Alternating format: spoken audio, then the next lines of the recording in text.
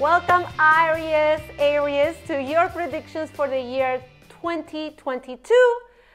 This is going to be an amazing year for you in terms of work and finances. I know you probably want to know romance. Give me a minute. Uh, we'll get to that. But I want to tell you that uh, a lot of things are changing for you, Aries. This year is a big year. Uh, there, I see a lot of deep transformations happening, and I also see you having a lot of fun and good time with friends and family and being supported and surrounded by people that you love. Also, very important, all systems say go when it comes to work, enterprise, finances, uh, new businesses.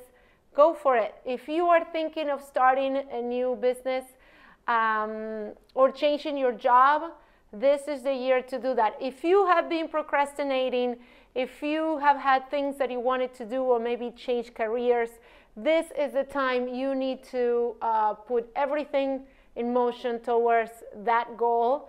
Um, regarding romance, I'll be honest with you, I didn't get a lot of romance cards, only happiness um, in, the, in the heart front. So you're going to be happy, you're going to do well this year, but I don't see a lot of specifics. Um, you know you, if you're already in a committed relationship, things will continue to prosper and stay well. It, it looks very optimistic for you uh, this year, 2022. Go for it uh, with all the energy. Set up goals for yourself because I see a lot of potential for financial success this year. You can win them all Aries, all right? I am trying, I'm reaching here. I am trying to find love stuff, but they're showing me money, money, money, money, and success and happiness.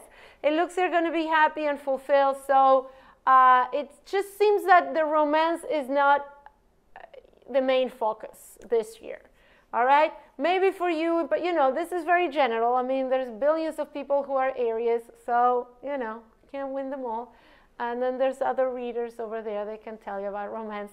But for me, for you today, they're just showing me transformation, happiness with friends and family, a lot of warmth, and a lot of success with money and work, business, career.